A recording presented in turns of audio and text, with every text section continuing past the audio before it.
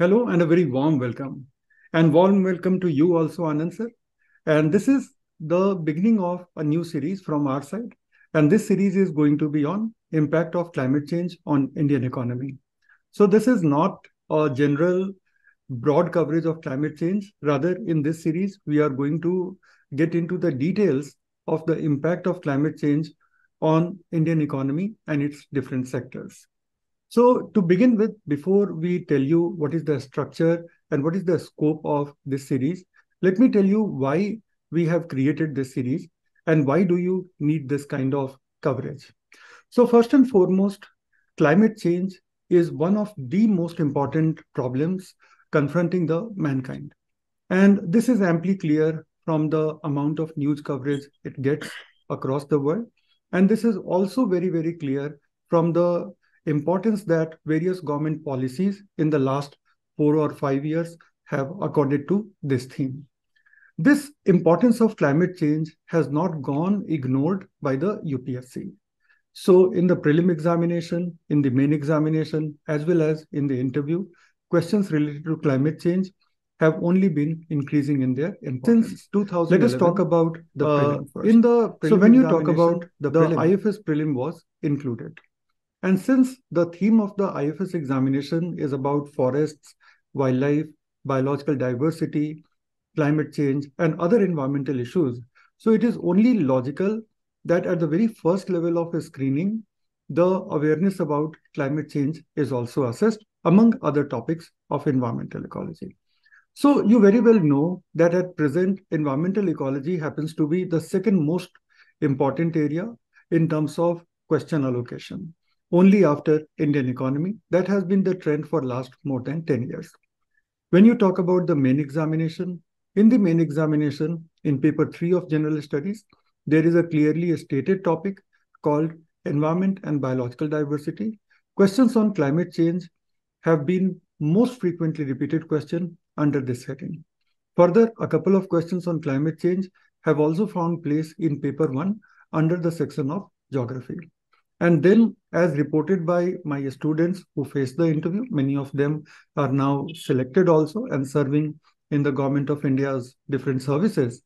So they also say that we were asked this question or that question on climate change. And this was especially true for those candidates who came from any type of science background or engineering background. So the importance of this topic cannot be overstated. Now the question is, that do we have good structured content detailing the impact of climate change on Indian economy? And that too at a time when the government itself admits that Indian economy is going to be impacted significantly by climate change effects. In my survey, I did not find any such coherent material which will be meeting the needs of the civil service aspirant. Hence, we decided to research and come up with this series. So in this series, Anand sir will be my collaborator. There are topics which I'm going to do. There are topics which Anand sir is an expert in and he will be doing. So uh, let me invite Anand sir to basically give us an overview of the topics the, uh, that we are going to cover in this series. Sure. Thank you, sir. And uh, hello uh, to all the students. Uh, please pardon my voice. I've got a bit of a cold, so please um, excuse. So um, we like uh, Abhishek sir said, we've tried to organize this as a, a complete uh, compilation on on the impact of climate change on the uh, Indian economy. And when we say complete, uh, complete, uh, so we want to start right from the beginning. So basically, uh, to give you an overview of how we've thought of the structure, we've organized this into four broad themes. The first uh, one is the beginning, the very basics. So we've uh, talked about what are the different phenomena um, things like greenhouse effect, global warming, and climate change, often misunderstood for the uh, one of the three phenomenon. So uh, we've explained what it means uh, when we say the there is global warming going on and how it impacts climate change, how these three phenomenon interact. In the second one, then uh, we've gone to the consequences of uh, climate change. Uh, so we've examined this from two lenses basically. First, at a global level, what is uh, going uh, to be the impact, what what all impacts we're already uh, witnessing, and then coming to our country, how India is going to be impacted, and then in the third theme, we then go deeper into the impact on India, and then we start talking about the impact on economy of the uh, country.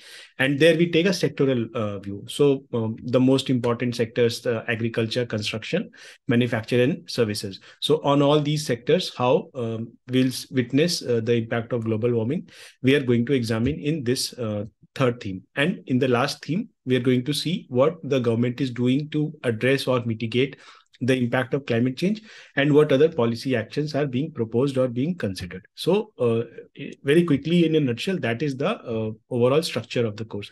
So now I'll pass it back to Abhishek sir, who will just tell you uh, which part is going to be covered by whom. So thank you, Anand, uh, for uh, giving a crisp summary of uh, the entire course. So as you said that there are four themes that we are going to cover. So the first two themes based on my experience as a teacher I'll be very comfortable in. And the first two themes, that is the understanding of the phenomena itself, the triple phenomena, greenhouse effect, global warming, and climate change, and its scientific basis, and then its impact both at a global level and at the level of our country. So these two themes I'm going to cover.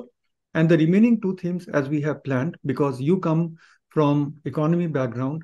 So you will be most eminently suited to cover the remaining two themes as how different sectors of Indian economy are going to be impacted by climate change effects, how we are prepared, and what are the different studies projecting the shift in those sectors and the policy initiatives that we have already taken and that we have announced to take in the years to come. So the last two themes you are going to do so that is how we have divided. And I would like to tell our audience that this kind of structured material has taken us a lot of time to research, bring them together, and process it to make it in alignment with the civil service examination. So please make sure that you are watching all the parts of this series.